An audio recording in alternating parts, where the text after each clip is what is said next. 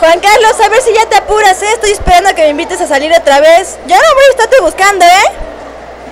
Ahí le mando un saludo a todos los que no vinieron, Claudia, Huicho, Guada, etcétera, etcétera, pero no vinieron. Dilo con corneto. ¡Uh!